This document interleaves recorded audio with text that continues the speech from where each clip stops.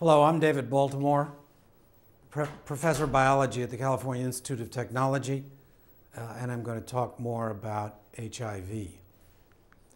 Um, in particular, uh, I want to develop the idea that gene therapy may be a reasonable tool for attacking HIV. And I'm going to do that in the context of why standard approaches to HIV have not worked and why something as heroic as gene therapy may, in fact, be the only way to go. So, uh, let me talk about the more general issue of why you would take a sort of molecular biologist's approach or a molecular engineer's approach to an infectious disease. For most infectious diseases, you, you don't need anything like that. Most infectious diseases uh, are handled by standard methodologies drugs, uh, antibiotics, vaccines to prevent them. Uh, but certain infectious agents, HIV, malaria, tuberculosis, and others, are unsolved medical problems, are great needs today because they have proven extremely difficult they will not respond to the standard methodologies. Uh, take vaccines, which are the right way to deal with infectious agents. That is, prevention is better than treatment. Uh, how, do, how do vaccines work? They work by inducing antibodies or what are called protective T cells, and those cells then and the, and the antibodies attack a virus if it comes into your body. So you're pre prepared for a virus. And what they're doing is taking advantage of the immune system, which would respond to that virus anyway, but would respond more slowly, uh, doesn't remember having seen it before, and so has to learn all about it de novo. And so, what the vaccine really is doing is short circuiting the recognition of the virus, getting rid of the learning stages, so that the body can go right in and handle it. But you have to have good antibodies or good T cells to do this. And, and I'm even going to ignore T cells for the moment because antibodies seem to be the major thing that vaccines elicit. So if the organism itself, and that's true of tuberculosis and others, cannot elicit good, broadly neutralizing, reproducible antibodies, then vaccines aren't going to work. And that's the situation. So, how do these kinds of agents elude antibodies? Well, what HIV does, and we'll go into this more in a little bit, is it hides its jewels in uh, coatings and in structures uh, so that antibodies just can't find the relevant parts of the virus. Malaria and other agents like it vary their structure continually. So even though you get a good antibody, by the time the antibody is being made, the organism has changed its stripes and now is no longer sensitive to that antibody. Tuberculosis, on the other hand, sort of becomes latent. It goes and hides itself away um, and takes advantage, actually, of immune deficiencies to come back out and cause uh, transmissible disease. And there are other tricks that viruses and other organisms use, like direct immunoinhibition, inhibiting the immune system using viral proteins. Now, viruses like polio and measles and mumps lulled us into complacence because we could easily make vaccines. And I remember the day that the then Secretary of Health, Education, and Welfare came before the nation and said, We have discovered HIV and we should have a vaccine in no time. Well, she was right in that we had made vaccines against lots of other agents. She was wrong. HIV is different than polio or measles or mumps. And you can see the consequence of that, dif- dis- that difference here, where we look at the spread of HIV through the world. So, HIV almost certainly first appeared uh, in Africa, uh, and it's, these red areas are the areas where it's highly uh, endemic, where, where many people are infected with it. Uh, that then spread uh, over to the United States, spread to Europe, spread ultimately to South America, and is now spreading more and more through Asia. Tremendous problems in Russia, in India. Uh, as, as I said before, the numbers in, in China are still low, but we worry about them getting larger. And in fact, basically, the whole world suffers from this problem. What are we going to do about it? How are we going to put the genie back in the box? Well, drugs, small molecules that, that target key parts of the virus, they target the reverse transcriptase, they target the integrase, they target uh, the protease, all of those things that, that I showed you are inside the virus are targets for these drugs. Drugs have been very successful in the developed world. And many people are today living with HIV infection who would have died uh, five years ago, uh, 10 years ago, 20 years ago, if they had been uh, infected with the virus. Uh, and those drugs are terrific. They're hard to take, they're, they have side effects, they're not perfect, but they've made a huge difference in the life of infected people.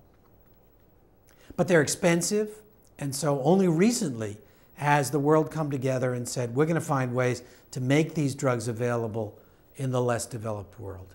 So now the drugs are, develop, are available in Africa and elsewhere, uh, but still, they're relatively expensive even for those circumstances, and they are um, and they have their their side effects and, and are not perfect. What you really want to do is to prevent the spread of the virus, not treat the infected people. So, one way to do that is education. We know how the virus is transmitted. It's transmitted sexually mainly, it's transmitted through contaminated blood. Um, and so we can, we can give people advice, we can educate people about how to prevent the spread of the virus. And that has been effective. Rates of transmission went way down in Uganda and Thailand uh, after very explicit, very widespread educational programs.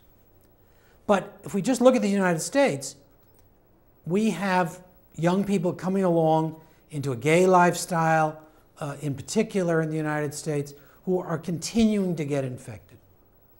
And so vigilance is something that has to be maintained continually if education is going to be the mode of uh, preventing spread.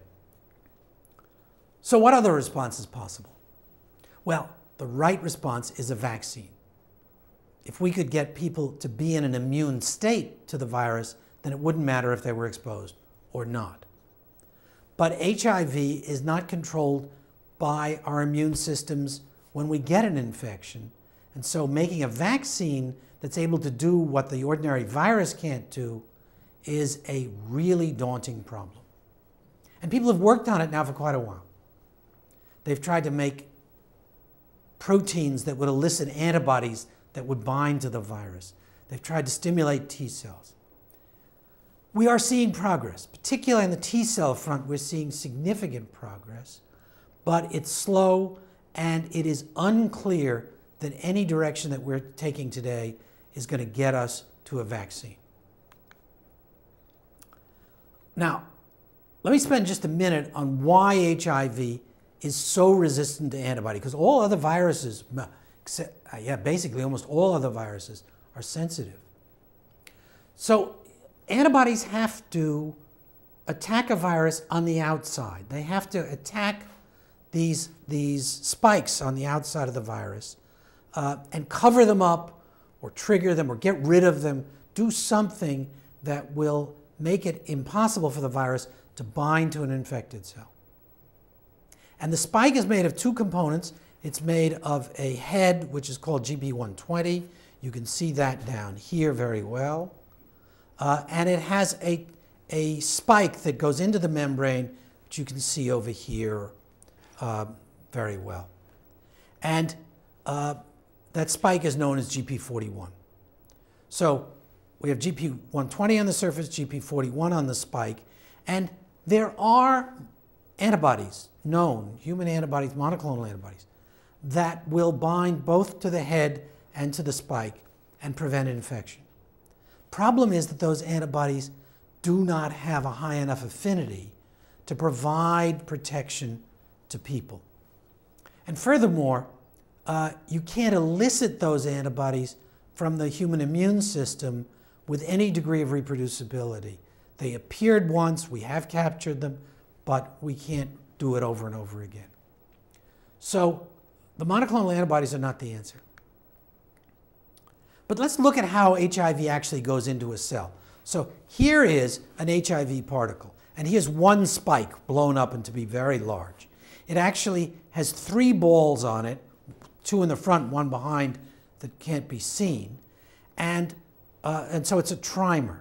It has this, this spike that goes into the membrane, which is GP41, which is also a trimer. In fact, there's one monomer each of 41 and 120 in complex uh, that, are, that were separated by a protease.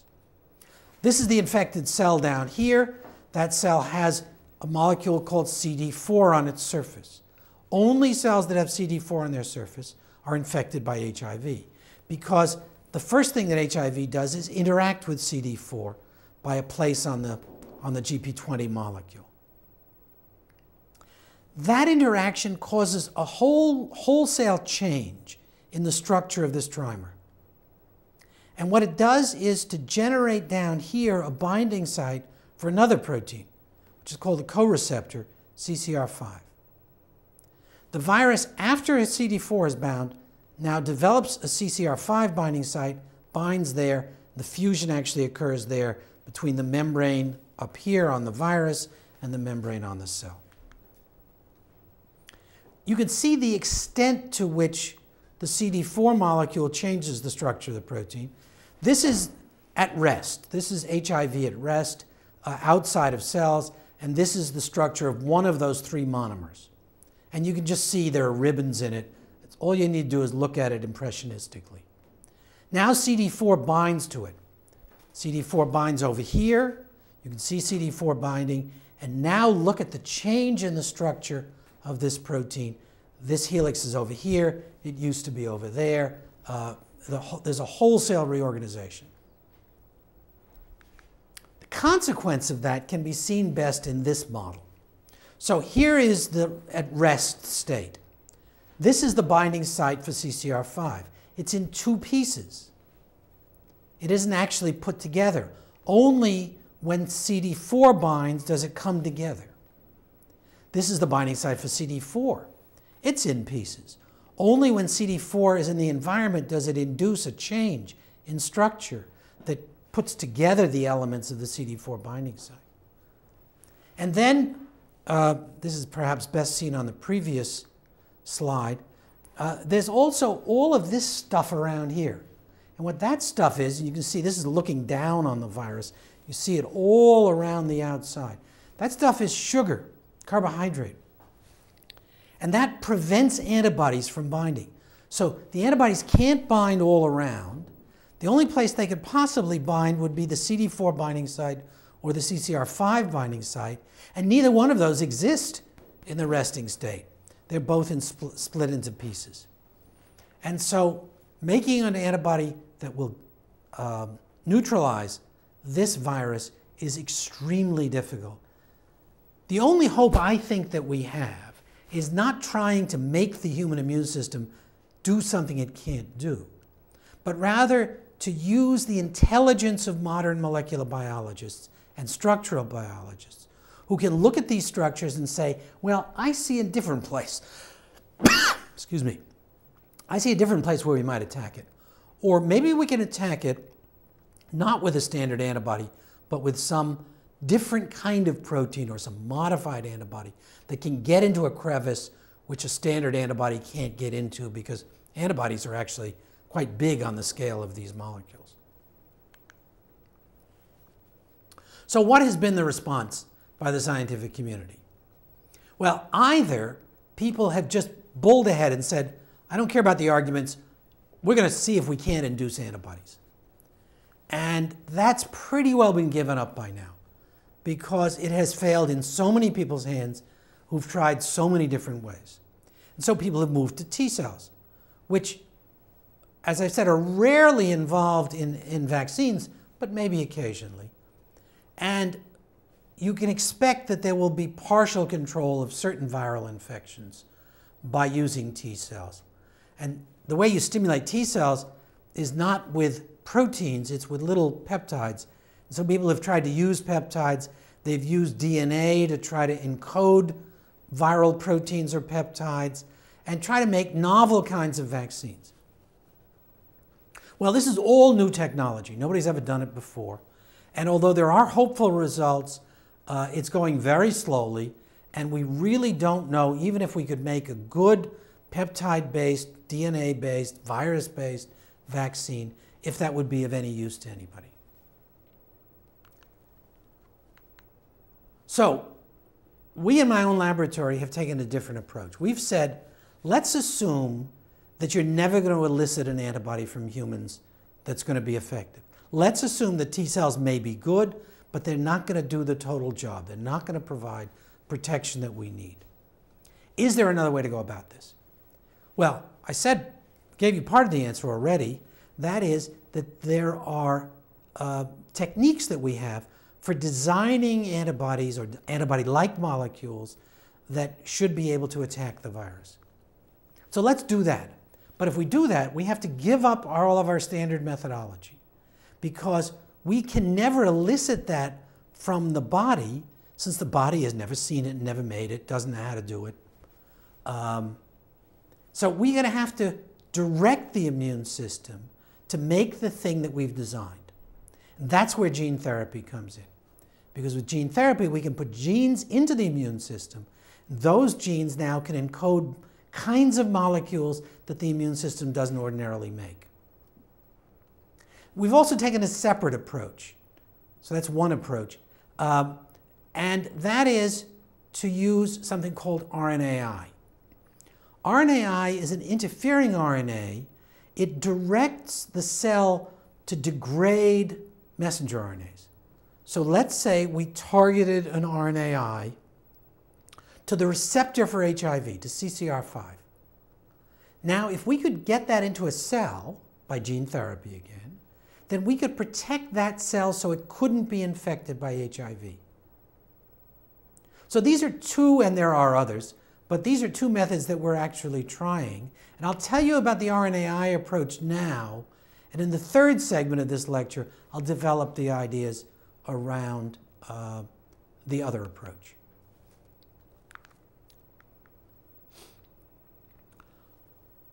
All right, but there are a number of things that any sort of gene therapy approach will have in common. First of all, that the gene therapy has to be directed to blood stem cells. All right, gene therapy is an old idea.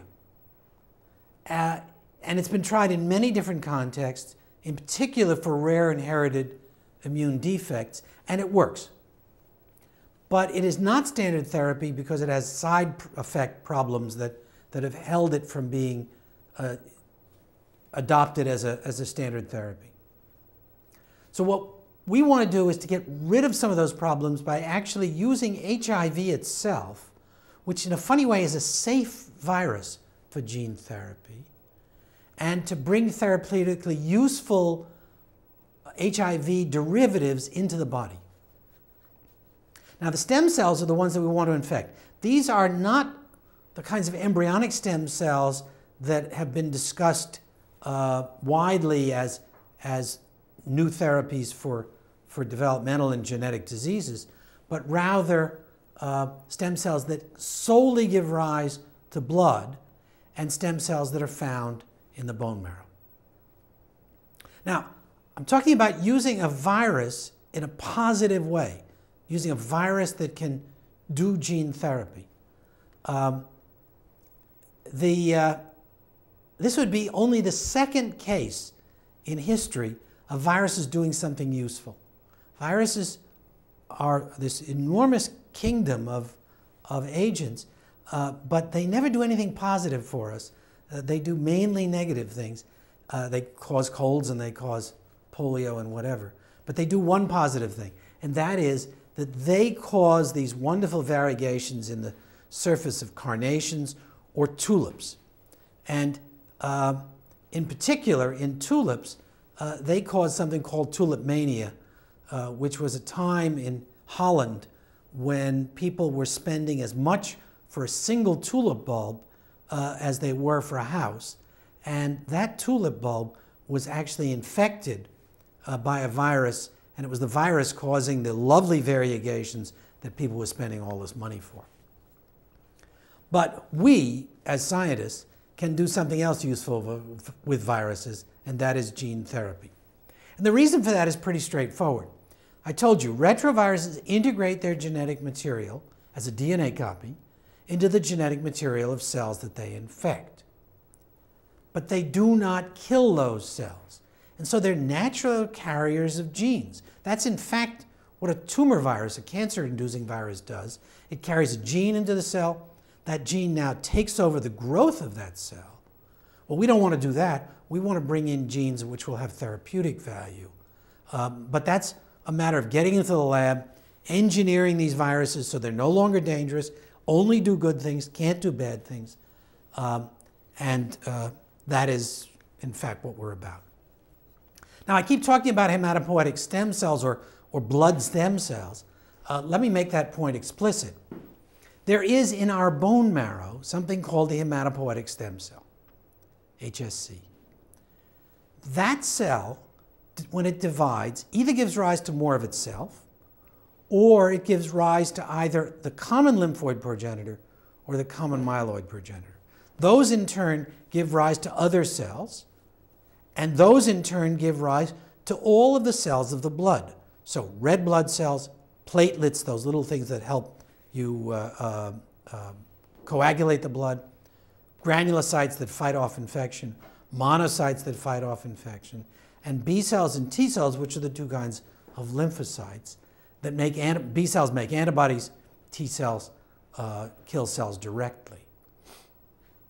So all of those cells actually derive from this cell. If we can modify the genetic properties of this cell, it will be maintained because it's self-renewing in the blood, in the bone marrow, and it will give rise to uh, all of the blood elements. In particular, we can sneak in this way new kinds of T cell receptors and new kinds of antibodies or sneak in a protective molecule like an RNAi.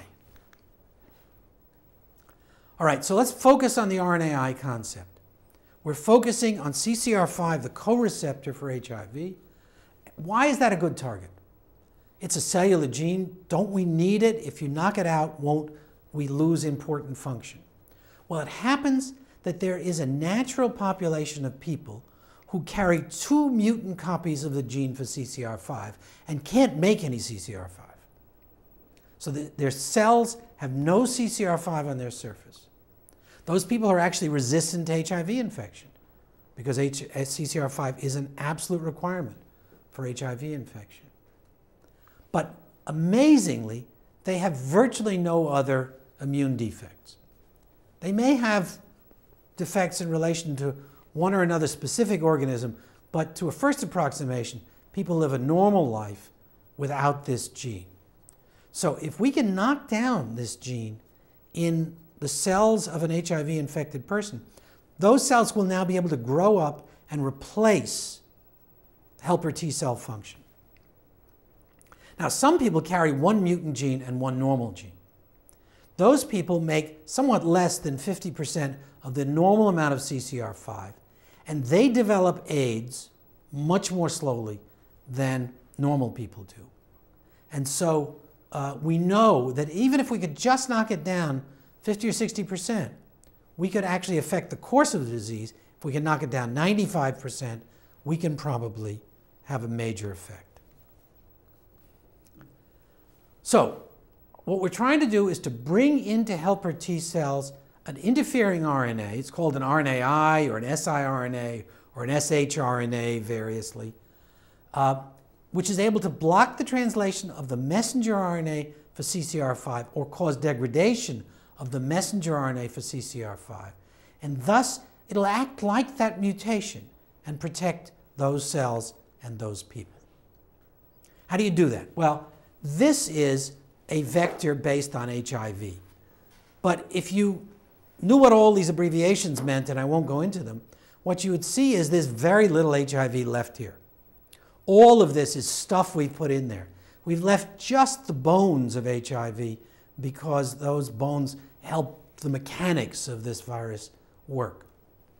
And in particular, we have put in here this little cassette, which encodes an RNAi. RNAi is an RNA that has two strands that are complementary to each other. That's what these two arrows are.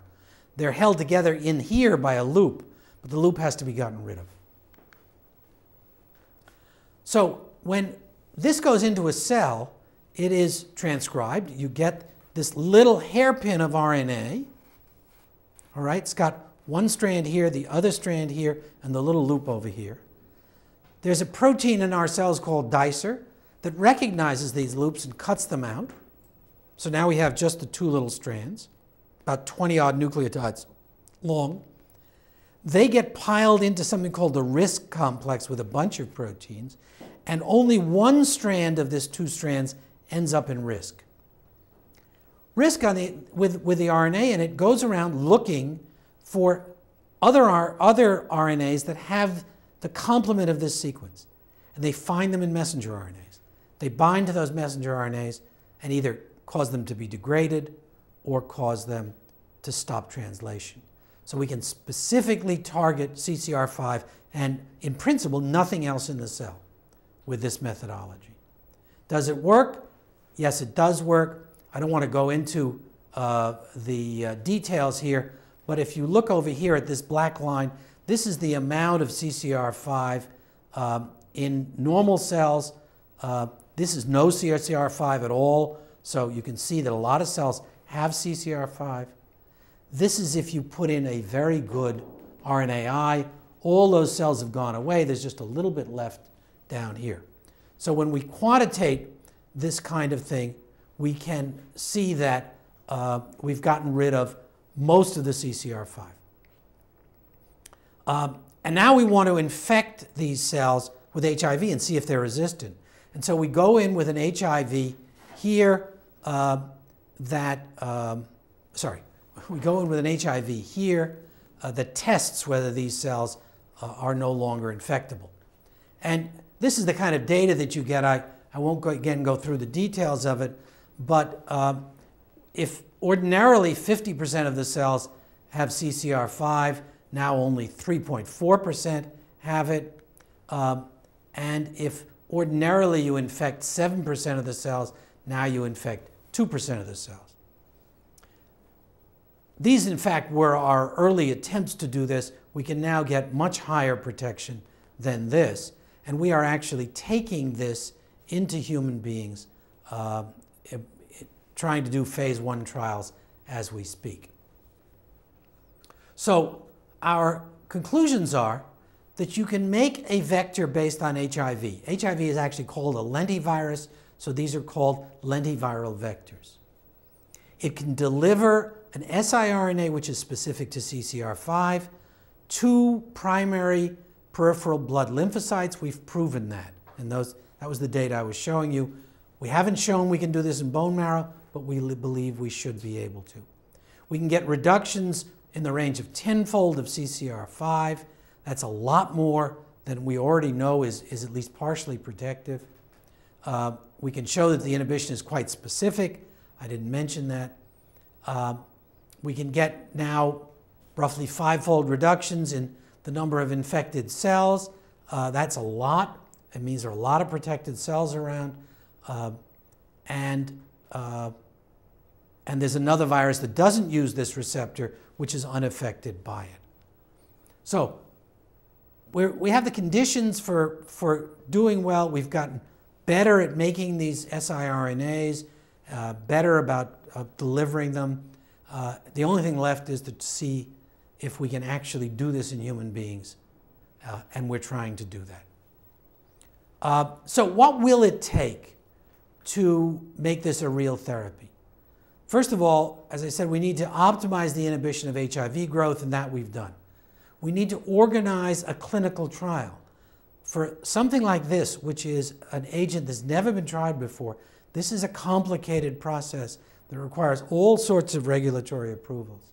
But we're in the process of forming a company that will do that, and we hope to see progress in the near future. Thank you.